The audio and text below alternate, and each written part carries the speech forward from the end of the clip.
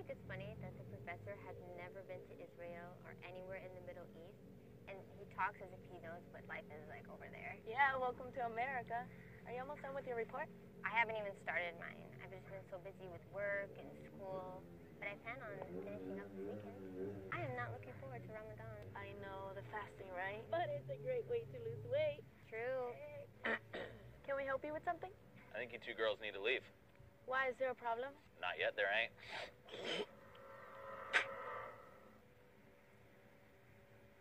Jesus, what is his problem? Ah, he's a creep. I hate guys like that. He was staring at us like we're a couple of terrorists. I hope he doesn't come back.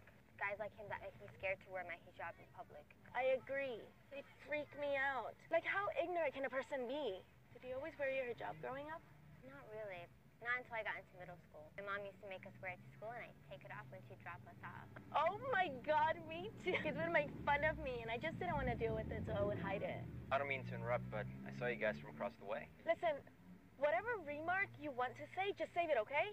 Go be ignorant somewhere else. I'm not sure what you mean. I was just gonna say I think we're in the same cultural studies class together. Professor Gladwell, right?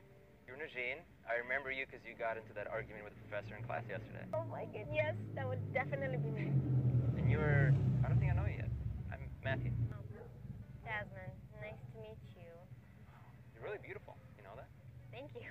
I thought you were really gorgeous, and I was wondering if you want to grab a coffee sometime. No, I don't think that would really work out. Ouch. Am I that ugly? No, I just don't date anyone outside my religion. Who said anything about dating? I was just thinking about getting coffee.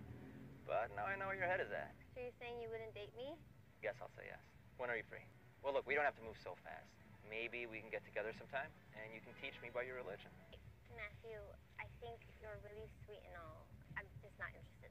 Have a good evening. Wow, you just told him to get lost. I'm shocked. Why?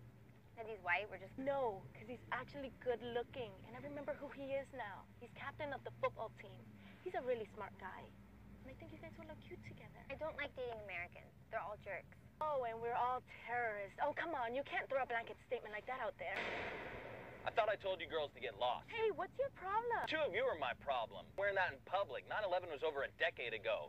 Eh, take those things off. Sir, I don't think you have any concept of what this is. Shut up.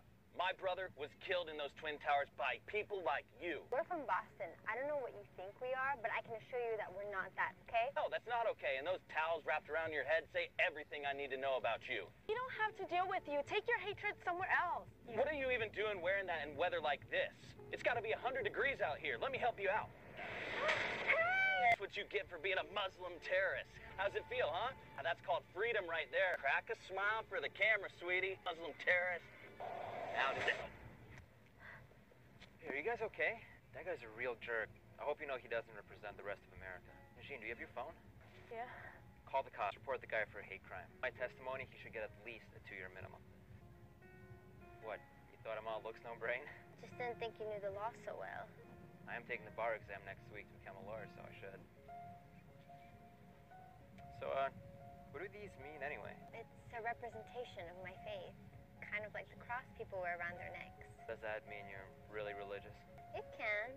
Does wearing a cross around one's neck mean they go to church every Sunday? Or not? I think you're starting to understand. Well, I had a good instructor. Islam's core teachings are love and peace for all human beings. I appreciate the free lesson. Free? you owe me a coffee. This story is based off something I witnessed when I was younger. Remember, a lot of girls were making fun of this one specific girl for wearing a hijab. And there was even one day where they ripped it off of her and she started crying. Darkness cannot drive out darkness. Only light can do that. Hate cannot drive out hate. Only love can do that. You may not fully understand other people's religions and beliefs, but it's important that we learn to treat each other with love and respect regardless. All right, guys, last but not least, I just want to say a big thank you to all the fans. We actually started off this month of May, and right now, as we're shooting this. Just want to say a huge thank you to you guys because we literally would not exist without you. So we're super appreciative. And what, Dylan, we're going straight to So we love and appreciate you guys. We'll see you guys in the comment section. If you enjoyed today's video, make sure to like and be notified every time we release a new video. And as always, share this with someone that you love.